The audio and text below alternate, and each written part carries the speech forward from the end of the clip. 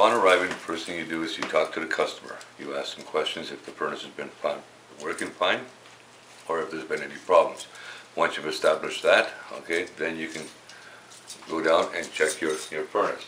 First thing you do is you look at your furnace, try to determine the, the date, or how old you take the panel off.